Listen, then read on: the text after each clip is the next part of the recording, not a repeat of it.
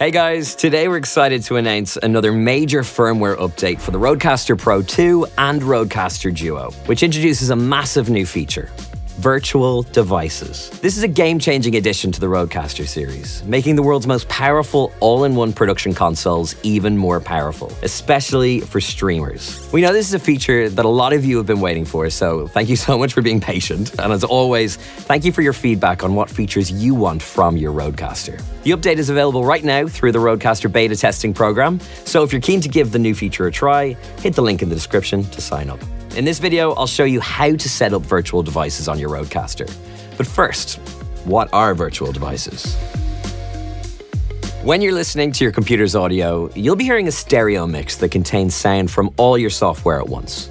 As an example, let's look at a mix that includes Spotify, Google Chrome, Discord, and a game. Most of this software will either have its own volume control, or in the case of a web browser, rely on volume controls on the pages you have open, such as YouTube. If you're streaming, adjusting levels for each piece of software to get the perfect mix for you and your audience can be a real hassle, or even sometimes impossible. However, with virtual devices, you can treat each piece of software as if it were a microphone connected to your Rodecaster and assign it its own fader. This gives you hands-on volume control over individual pieces of software in a single, centralized location the Rodecaster.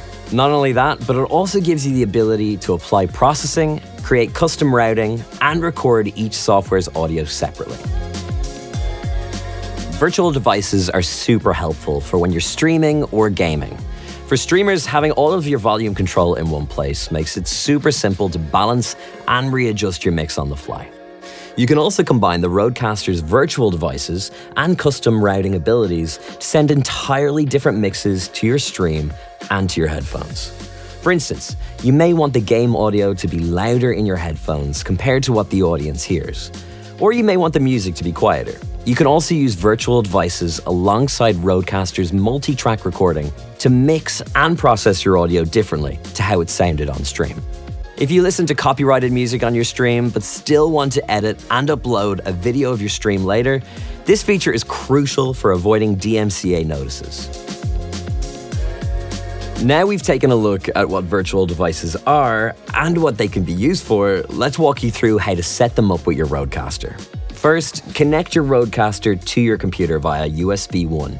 Now make sure you're running the latest Rodecaster firmware. This can be downloaded directly via Ethernet or Wi-Fi, or with the latest version of Rode Central.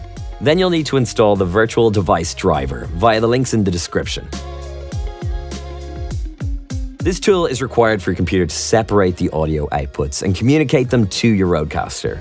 Finally, in order to activate these additional virtual devices on your Rodecaster, navigate to Settings, Outputs, Multi-Track, and USB 1 input and tap Expanded, and then hit Apply. You can exit this expanded mode at any time from the same menu. And that's it. You're ready to use virtual devices with your Rodecaster.